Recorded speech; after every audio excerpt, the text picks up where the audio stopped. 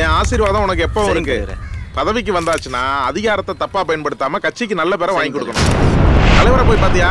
உங்களை பார்த்துட்டு அப்புறமா முதல்ல போய் அவரை பாரு. சரிங்க தலைவர். என்னையா? கிரீன் காம்ப்ளெக்ஸ் ஓனர் உங்க பார்க்கணும்னு அப்பாயின்மெண்ட் கேட்டார். சரி நான் அப்புறம் கால் பண்றேன்னு சொல்லு.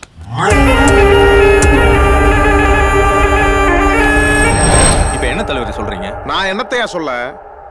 இருபத்தஞ்சு வருஷமா கட்சியில இருக்கேன்ற நீ சொல்றது நியாயம்தான். ஆனா கட்சி தொண்டர்கள்லாம் ஜேடி பக்கம்ல இருக்காங்க. கட்சியில கொள்கைக்கும் உண்மையான உழைப்புக்கும் மரியாதை இருந்ததெல்லாம் அந்த காலம். இப்போ காசு இருக்கிறவனுக்கு தான் மதிப்பும் மரியாதையும். உண்மையா உழைக்கிறவனுக்கு மரியாதையே கிடையாது. ஏய் யோ உன் கொள்கையை வச்சுட்டு கட்சி கொடி தான் பிடிக்க முடியும்? இருபத்தஞ்சு வருஷத்துக்கு முன்னாடி செலவே இல்லாம ஆர்ப்பாட்டமும் போராட்டமும் பண்ணிருப்பீங்க. ஆனா இப்ப அப்படி பண்ண முடியாது. போராட்டம்னா தலைக்கு ஆயிரம் ரூபாய் கொடுக்கணும். தெரியுமாயா பணத்தை தண்ணியா செலவு பண்ணிருக்கேன். எதுக்கு? இந்த கட்சியில முக்கியமான ஒரு போஸ்டிங் வாங்குறதுக்கு தான். அப்போ நீ சொல்றத பார்த்தா காசு இல்லாதவன்லாம் கட்சியில வந்து போஸ்ட் ஒட்டவும் ஆர்ப்பாட்டம் பண்ணவும் தான் இருக்குமா? என்ன தலைவர் அர்த்தமெல்லாம் பேசுறான்? நிறுத்திக்க வந்துட்டாங்க ஒரு கட்சிக்காரங்க ஒன்னா கொண்டா உடனே அடிச்சுக்குவீங்களே? விட்டா சட்டையை கிழிச்சிட்டு உருண்டுருவீங்க போல இருக்கு. பத்து வருஷமா கட்சிக்காக செலவு பண்ணிருக்கேன் தலைவரே. ஏய் உன் பணத்தை வச்சா கட்சி நடத்துறோம் சும்மா செலவு பண்ணேன் செலவு பண்ணேன்ட்டு. ஒரு மீட்டிங்லயே உருப்படியா இருந்திருக்கியாயா? பந்தல்ல பாதியிலே போறவன் தானே நீ? அப்படி கேளுங்க தலைவர். என்ன நொப்படி கேளுங்க. முதல்ல உன்னை உதைக்கணும்யா. நீ தான் கட்சி கொலைச்சனா அப்ப நாங்கெல்லாம் யாரு? நீ சாவு வரை உண்ணாவிரதம் இருப்பேன்னு இருப்ப உன் பணத்தை வச்சா நாங்க கட்சி நடத்த முடியும்? யாருக்கு எப்ப என்ன பண்ணணும்னு எங்களுக்கு தெரியும். எல்லாரும் இப்ப அமைதியா போங்க. போங்க.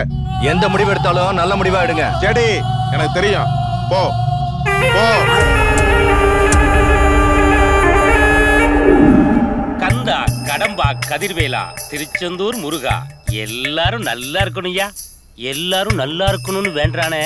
இவன் ரொம்ப நல்லா இருக்கான்னு நினைச்சு அசால்ட்டா விட்டுறாத. நானும் நாலு தடவை பிச்சை எடுத்துக்கிட்டு தான் இருக்கேன். கொடுக்குற தெய்வம் கூரையை பிச்சுக்கிட்டு கொடுக்குன்னு சொல்றதுல அந்த காலம் முருகா.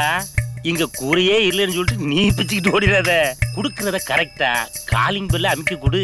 இல்லைன்னா கதவை தட்டியாவது கொடுத்துட்டு போயிரு. தெய்வம் தட்டுதா? முருகா கூப்பிட்ட உடனே இவ்வளவு வேகமா விருட்டியா வருது ஐயோ நீ எல்லா தெய்வம் இல்லை. என்னண்ணே? சொல்லுங்கண்ணே சொல்லுங்க. முருகர் வருவார்னு பார்த்தா முட்டைக்கண்ணு வந்து நிக்கான் எங்களை பார்த்த சந்தோஷத்துல வாயடிச்சு நின்னுட்டீங்க. உங்களை பார்க்கணும்னா எவ்வளவு தூரத்துல இருந்து தேடி வந்திருக்கோம்.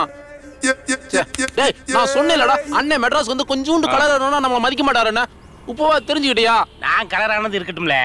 இந்த மூஞ்செல்லாம் பார்க்க கூடாதுன்னு சொல்லி தானே அறுநூறு கிலோமீட்டர் தாண்டி வந்து உட்காந்துருக்கேன் 600 கிலோமீட்டரா ஆறாயிரம் கிலோமீட்டர் தான் நாங்க தேடி வருவோம்ண்ணே. என்னடா சொல்ற?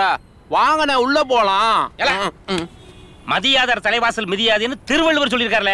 அட போங்கண்ணே எனக்கு ஹிந்தி எல்லாம் தெரியாது. எனக்கு பசிக்குது. ஹிந்திலே பேசிட்டு இருந்தேன். ஆத்திச்சூடிக்கும் திருக்குறளுமே வித்தியாசம் தெரியல. நீ எங்களை சொல்றியா? வழி விடுன அண்ணா தண்ணி கொண்டு வானே பா ஏண்ணே ஒரு ஏசி இல்லையாண்ணே?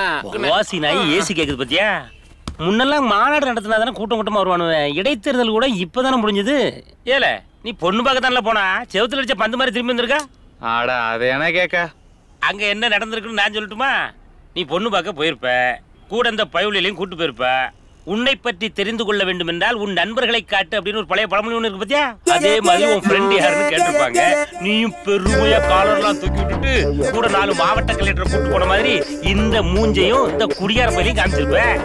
இந்த மூஞ்சிகளை பார்த்ததுக்கு அப்புறம் எப்படி பொண்ணு தருவான்? உனக்கு பொண்ணே தரமாட்டேன்னு சொல்லி உன்னை திருப்பி விட்டு மிதிச்சு அனுப்பியிருப்பானே. என்னல அந்த மணி முடிக்க அப்படி நடந்திருந்தாலும் பரவாயில்லையே. இவனுங்க போலீஸ்கார நல்லா அடிச்சு விட்டானுங்க. இன்னும் இவங்க அவங்க பிரிக்கிற? நான் முத போலீஸ் அடிச்சு சொல்லு. சொல்லு. இது ரொம்ப முக்கியம். ஊர்ல சைட் அடிக்கே பயப்படுவியே. இப்ப போலீஸ்காரன் அடிச்சிட்டு வந்திருக்கியே? இல்ல சாதாரணமா வந்தாலே ரெண்டு வாரம் டேரா போடுவியே? இப்ப எவ்வளவு நாள் டேரா போடுறத உத்தேசம்? இனிமே இங்க தானே. நாங்க எல்லாரும் வேலைக்கு போலாம்னு முடிவு பண்ணிருக்கோம் எங்க தகுதிக்கு ஏத்த மாதிரி நல்ல வேலை வாங்கி கொடுங்க. உங்க தகுதிக்கு. ம். ஊர்ல வேலை செய்யாத மாடு இங்க வந்து என்ன வேலை செய்ய போறிய? பத்து பண்ணி வாங்கி தர மேய்க்கலாம் வாங்கி தரதான் வாங்கி தரீங்க. உங்க கலர்ல வேணாம் உங்க சட்ட கலர்ல வாங்கி கொடுங்க. ஐயாண்டி? தூக்கி போட்டு மிதிச்சு போடுவார் ராஸ்க்கு இந்த மனுஷனையா தேடி வந்தோம் எல்லாம் நமக்கு பிடிச்ச கிரகம்.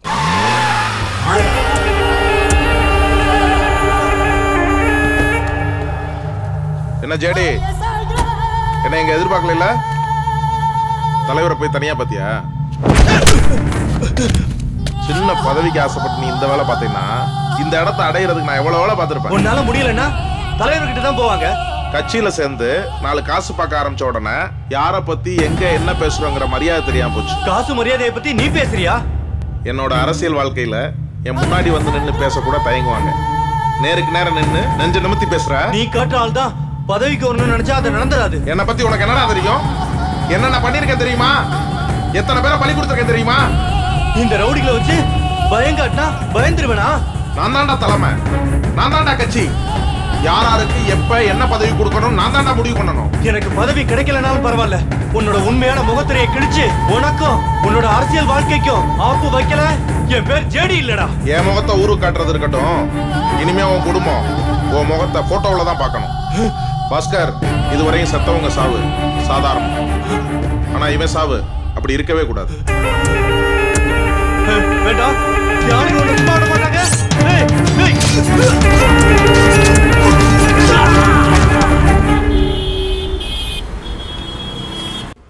சத்யா ஓனர் நம்ம ஊருக்கார் தான். இந்த இருக்கல்ல வணக்கம் வணக்கம் அடடே வாதாசு உனக்கு தான் போன் பண்ணச்சேன் நீயே வந்துட்ட? ஆமா அந்த வாஸ்துக்காரனை கூட்டு போய் வீட்டை காட்ட சொன்ன காட்டினியா? அவனை கூட்டிட்டு போய் காமிச்சோம்னே. அவன் சொன்ன விஷயத்த நான் சொன்னா நீங்க டென்ஷன் ஆயிருவே அப்படி என்னதான் சொன்னா கிழக்கு இருக்கிற வாசப்படியை அப்படியே பேத்து கொண்டு மேற்க இருக்கிற பூஜை ரூம்குள்ள வைக்க சொல்றான். மேற்க இருக்கிற பூஜை ரூமை அப்படியே பேத்து கொண்டு பாத்ரூம்குள்ள வைக்க சொல்றான். பாத்ரூம் தூக்கி மச்சில வைக்க சொன்னானா? அப்படி சொன்னா பரவாயில்லண்ணே பின்னால ஒரு கிணறு இருக்குல்ல? அதை அப்படியே பூட்டா பேத்து கொண்டு வாசல் வைக்க சொல்றான் கடைசி என்னையா சொன்னா? இந்த வீட்டை விற்க சொல்றாமனே. ஆமா நீங்க மட்டும் ஊன்னு சொல்லுங்க. நமக்கு தெரிஞ்ச பாட்டி இருக்கா நல்ல வழி தள்ளி விட்டுருவோம். இன்னொரு ஊன்னு சொல்லுங்க. புது வீடு நல்ல மாடல்ல இருக்கு குழந்தை வரைக்கும் வாங்கி தரேன். என்ன டபுள் ஊன் போடுறியே? ரெண்டு கமிஷனுக்கு அடி போட்ட. ம், கமிஷன் அவ்வளவு சாதாரணமா சொல்றீங்களா காலையில எந்திரிச்சு குளிச்சு ஒரு வெள்ளை வெட்டி வெள்ளை சட்டையை சாயந்தரம் வரைக்கும் அழுக்குப்படாம மெயின்டைன் பண்றது எவ்வளவு கஷ்டம்னு எங்களுக்கு மட்டும் தான் தெரியும். அதுவும் மூணு வருஷமா அந்த வெளியே தெரியுது பத்தில ஐநூறு ரூபாய் இதை மாத்தாமலே மெயின்டைன் பண்றோம். இதெல்லாம் நீங்க புரிஞ்சுக்கணும். அதனால மெயின்டைன் சார்ஜ் சொல்லி டீசெண்டா சொல்லணும். புரோக்கர் கமிஷன் சொல்லி அசிங்கலாம் படுத்தக்கூடாது. சரியா? சரி அதை விடுங்க.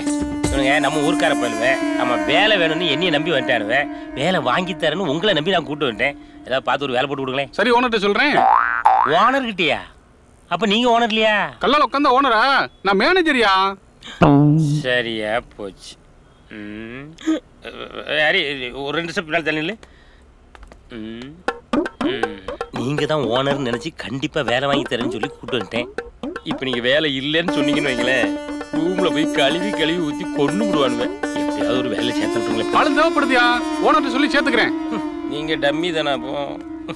வணக்கண்ணே. ஏ கண்ணா எப்படி இருக்க? நல்லா இருக்கியா? நல்லா இருக்கண்ணே. என்ன துரும்பா இழைச்சு போயிட்ட? வெயில் அதிகமா இருக்கு. ஒரு நாலு ஜூஸ் சொல்றியா? ஜூஸா பயா லூசு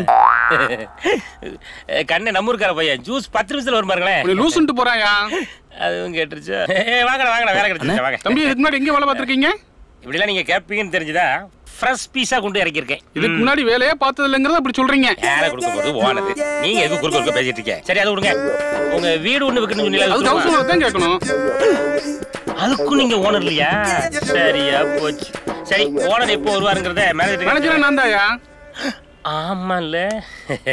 இல்ல இந்த காஸ்டியூம் எல்லாம் பார்த்த உடனே சைவ ஹோட்டல் சப்ளையர் மாதிரி இருக்குன்னு பார்த்தேன். இல்ல வா.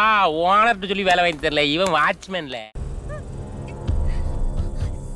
சார் சார் காப்பாத்துங்க சார். என் ஃப்ரெண்டை காப்பாத்துங்க சார். என் ஃப்ரெண்டை ஒரு கொலைக்காரன் துரத்துறேன் சார். காப்பாத்துங்க சார் ப்ளீஸ் சார்.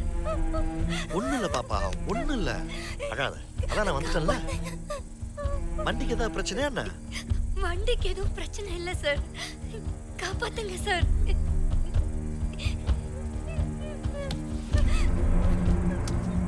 குடி முதல்ல